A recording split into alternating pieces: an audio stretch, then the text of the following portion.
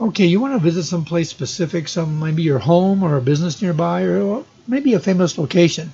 There's some guides out there to show you how to do latitude and longitude and how to paste them in separately, but that's old school. We're going to use GPS. Okay, first we're going to use Google Maps. We're going to type in the name of a location here. This is a hospital uh, in Southern California. If you right click on it and you look down here and it says what's here, you'll see down here at the bottom there's GPS location. If you click on that, it'll appear right here, and all you have to do is highlight it. You can double click on it too, say copy, and you're ready to go. And of course, since uh, Flight Simulator uses Bing, uh, we're going to use Bing Daddy here. We're going to do the same thing. We're going to type in uh, a place, the same place, and I'm going to click on it, but it's right there. All you have to do is say copy, and puts it into your buffer, and you're ready to go again. Okay, now that you have that in your buffer, you're going to go over here to the world map, and as soon as you get there, you're going to see that there's a search bar. Simply use that buffer, give it Control V, and you paste it in there, boom, there it is. You come down here, and it gives you a custom waypoint. Now I'm going to use it for the start of my uh, flight, so I'm going to click here and say set as departure, and just click on that. And I'm going to go ahead and, oh, I have changed my aircraft. I don't want to be flying the 747. So I'm going to go ahead and click on this, one of these, say OK, go back. Uh, I'm still there, ready to go.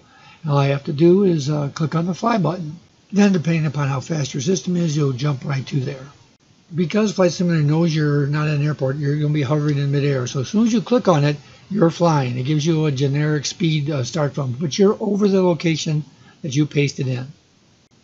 Now you can use your drone camera like some people suggest, but I pressed Y to go into slew mode so I can move around and I look around until, oh, there's this large medical looking building out there.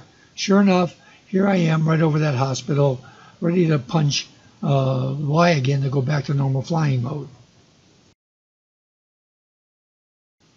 Okay, now that we went to somewhere local, let's go to somewhere more interesting. Pick a place wherever you want. Uh, in this particular demo, uh, I'm going to fly around the Statue of Liberty and maybe a little bit of New York as well. But before we talk about flying in a densely populated place like New York, uh, we need to talk about graphics quality. If you're on a high-end machine, don't worry about it.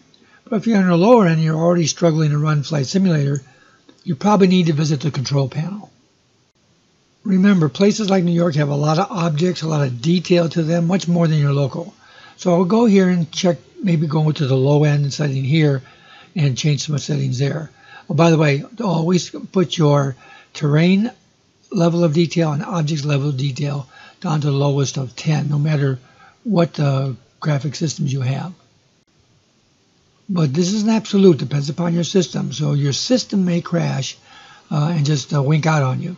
So go back here and make some adjustments and try again. I'm using Bing because I like it. It's a lot easier. I'll go ahead and say copy that. Come back over here and click in the search bar.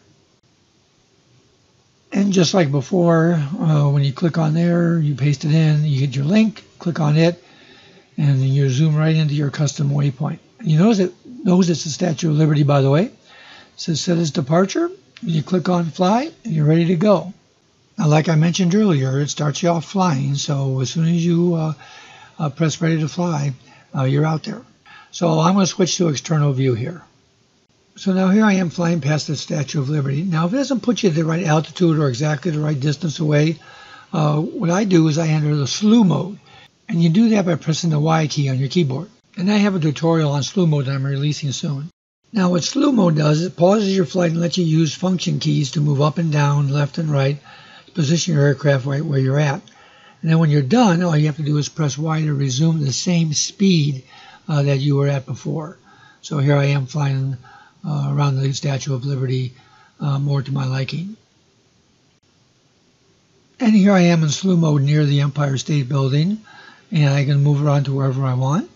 And when I get positioned to where I want to start flying again, uh, I press Y again. Uh, let's go over and visit the Brooklyn Bridge, for example. Let me get closer to here. And then I can press Y I'm flying near the uh, Brooklyn Bridge. You can do this for anywhere you want. Grand Canyon, you know, Paris, uh, whatever you want, Eiffel Tower, uh, Seattle, Space Needle. Just move around to where you want and then you can just do that. Now you can only do this from the menu. You can't do it mid-flight. Uh, but it still gives you an opportunity to visit some of the places.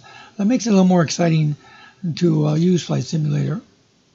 So if you're a little tired of being at home and everything, you want to go visit some place, just grab your plane, uh, punch in some coordinates, some GPS coordinates, and go. Hey, if you found this video helpful, don't forget to like this video. And if you want to get more, just subscribe to Old Guy Geek. You can also follow me at Facebook or Twitter. The links to those are in the description of this video.